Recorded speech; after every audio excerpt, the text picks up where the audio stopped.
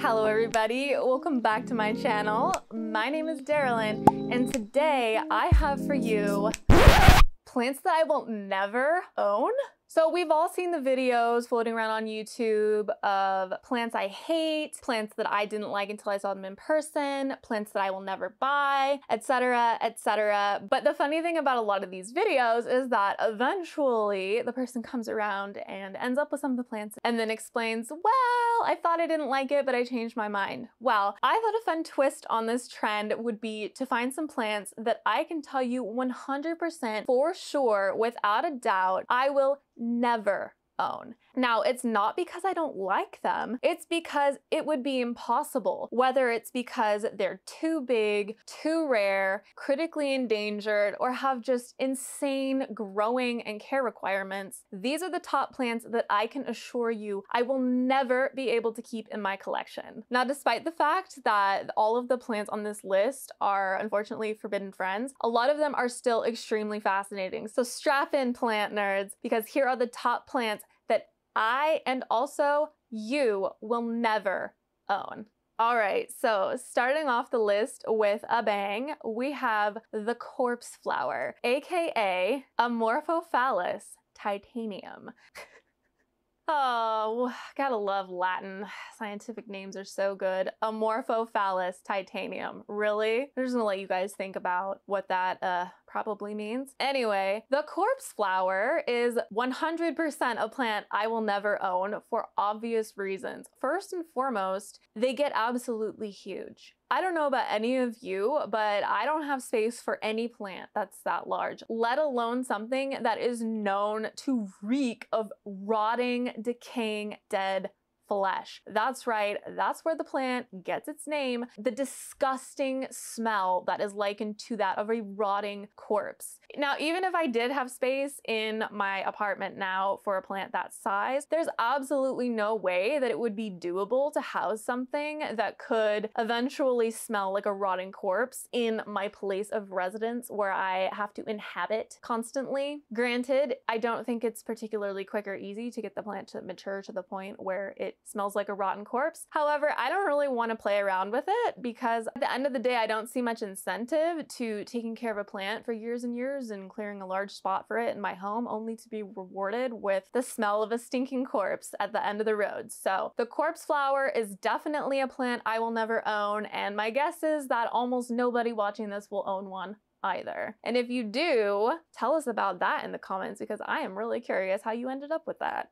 All right, so the second plant on the list that I know I will never own is the ghost orchid, aka Dendrophylax lindenii. Now, the reason that I will never own a ghost orchid, critically endangered status aside, is that it actually requires very, very specific conditions. It only lives in swamps where the temperatures are very consistent and very stable, in trees, and it's pollinated by one type of sphinx moth. The plants also have a symbiotic relationship with a fungus that is needed for them to grow and thrive, and so maybe maybe you're able to keep the orchid alive, but without the fungus, you're not going to be able to help it thrive at all. Aside from the difficult care requirements, the ghost orchid is now so rare in the wild that it's illegal to collect them, and they're so critically endangered that there's now a lot of worry that since they're only pollinated by one type of moth, even if a pollinator can find the plant when it's in bloom, the chances of it finding a second one to pollinate go down immensely. There's a lot lot of concern about the future of this plant in the wild. And so for that reason, it would probably be impossible to procure one through legitimate means. And even if you could, it would be extremely expensive. And then even if you could afford it, it would probably be very, very difficult to keep alive. So I just don't see the point, even if I could get the plant, to trying to keep something alive that probably just doesn't want to live and that I would never probably be able to pollinate. So for me, the ghost orchid is almost assuredly a plant plant I will never ever own. All right, moving on. The next plant on the list is the Atropa belladonna, aka deadly nightshade. Now, this is a plant that I will never own because it is freaking toxic and it can literally kill you and your kids and your pets. And I just don't think it's worth it. The plant is very beautiful and it has very attractive deep purple flowers, which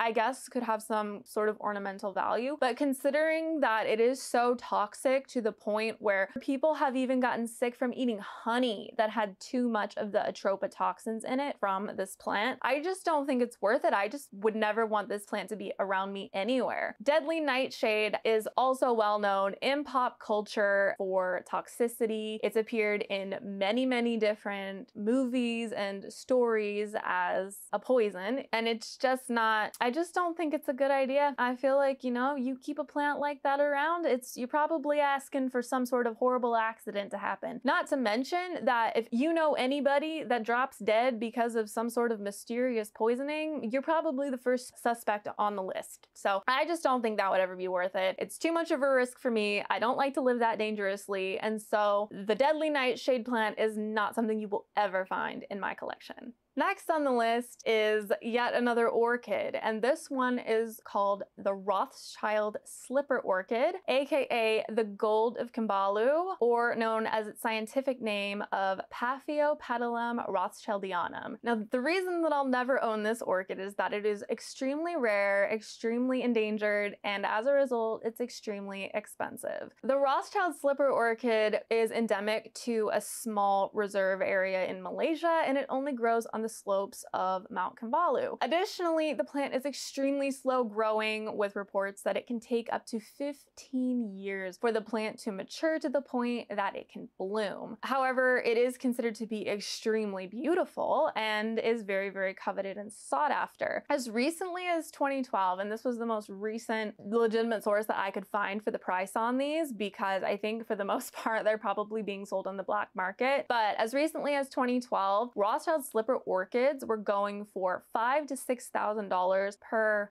stem. Imagine how much it would cost to have Rothschild slipper orchid wedding centerpieces. I mean, that's something that would really only be attainable for the richest in the world. And I don't know that anybody's ever attempted to do that, but the plants are very, very highly sought after. And as a result, they're very, very well protected in the native country where they grow. However, apparently, even though the plant is extremely rare and and very slow growing. They're not actually particularly finicky or difficult to grow or to keep alive. And an experienced orchid grower, if they could get their hands on one, shouldn't really have too much trouble growing it as a house plant. However, I know that I will never own this plant because I personally am just not into orchids enough to ever attempt something that's this expensive. Plus, at this point, I really don't support trying to obtain plants through, you know, illegitimate means. So perhaps eventually a grower will master master a technique that allows the Rothschild slipper orchid to be grown more quickly, but as of right now, I don't see how I could ever own this plant given how much it costs and how rare and how coveted it is amongst the orchid community. All right, moving on, we have yet another orchid. Don't come for me, I know we don't normally talk about orchids ever on this channel, but I swear this one is probably the most interesting one. It literally blew my mind when I learned about it. Next on the list of plants I will never own is the Western Underground Orchid an underground orchid. What?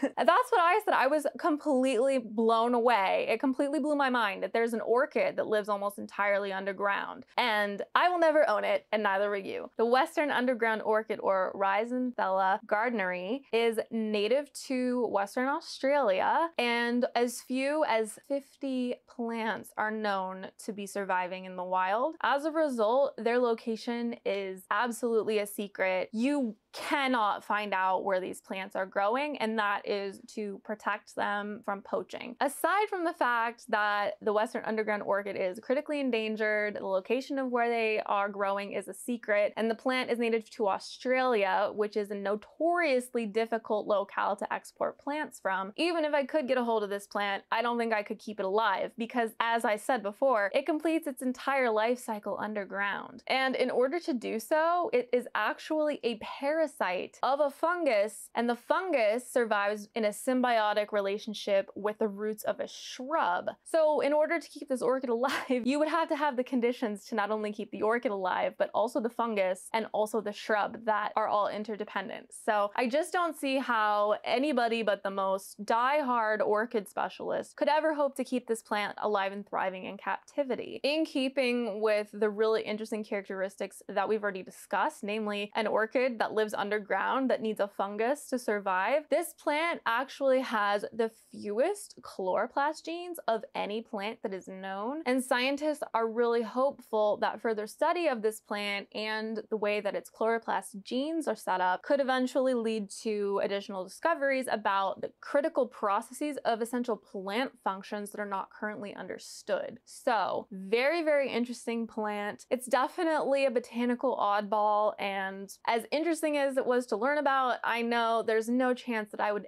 ever be able to own one in my own private collection, let alone keep it happy and thriving. All right, so next on the list, we have an antique bonsai. Now, most people are familiar with bonsai trees, the art of miniaturizing trees and keeping them. It's something that you see fairly frequently represented in popular culture, but the art of bonsai and the bonsai community goes way, way deeper than that. And a lot of these trees go for thousands and thousands and thousands of dollars. In the Aroid community, we talk about, you know, expensive plants and balk at the idea of paying a few hundred dollars for a plant plant. But if you think a few hundred dollars for a plant is expensive, what about tens of thousands? What about millions of dollars? That's right. I will never own a true antique bonsai simply because A, they almost never come up for sale, and B, when they do, they sell for millions of dollars. Now, why are bonsai trees so expensive? Well, at the highest end of the price range, some of these trees are up to a thousand years old. That's right. When you're looking at a plant that is a thousand years old, you definitely can't make any more of them. So thinking of an antique bonsai, it's really got to be in the same kind of vein as, you know, antique musical instruments, art, other artifacts, things that you can't make more of because they were made in the past and you can never return to that era.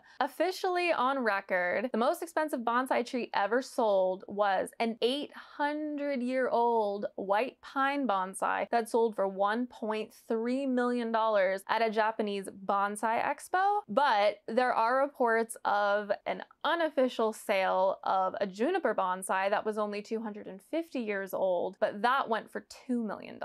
There are other trees in private collections or that are under the care of botanical institutions that will probably never be sold again, but if they were to be sold, would go for even higher than that. There is actually a bonsai ficus tree in Vietnam Vietnam that is reported to be worth as much as five or six million dollars, but there's very little public information about it, and the owner won't even confirm how old the plant is. So it's very interesting, and I think bonsai is probably one of the most incredible types of plant keeping out there. A thousand year old plant. That is just absolutely incredible. And and you know, I have no problem paying paying the price for quality or, or for rarity, what have you, but millions of dollars is just not in my budget. And even if it was, I would have to employ a professional bonsai master to care for something like that. And I just can't see ever being able to do that, you know, unless I win the lottery or something. But then again, even if I had the money, these antique bonsai trees almost never come up for sale. So unfortunately, even though they're absolutely amazing, I will probably only ever be able to see them if I'm able to visit them at botanical gardens. So very, very, very cool, but unfortunately completely unattainable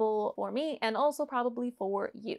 All right, so the last plant on this list may not actually be completely unattainable for everyone. I actually saw one for sale recently, and maybe, you know, for the right plant parent out there, this plant would be totally doable, and uh, maybe I'm just a little bit squeamish. But the last plant on this list that I can tell you right now I will never own is the Nepenthes rajah. Now, this is a very beautiful and ornate species of pitcher plant that has huge pitchers. And the reason that I will never own it is because I am just not comfortable with its diet. This this plant is so big that it actually eats mammals, reptiles, large insects, all the same reasons that I don't want a snake, but a plant. It is a very, very cool plant, and I understand why people would want to keep it, especially if you're an Nepenthes specialist with your collection, but I just could never bring myself to do that. I suppose maybe if I had like an outdoor space, if I lived somewhere tropical and the plant was able to just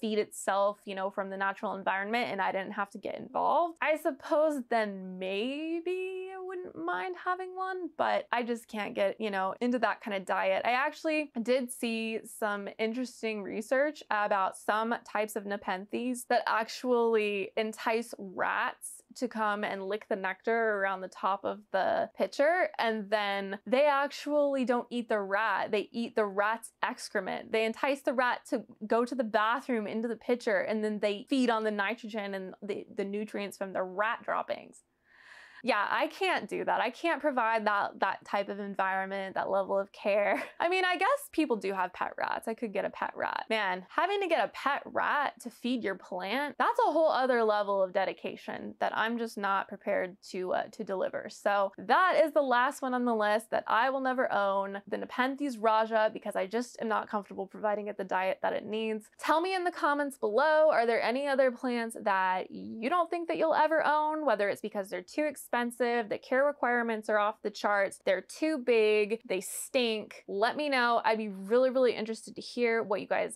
have to say. I love learning about new plants. Thank you so much for chilling with me, and I will see you in the next one. Bye!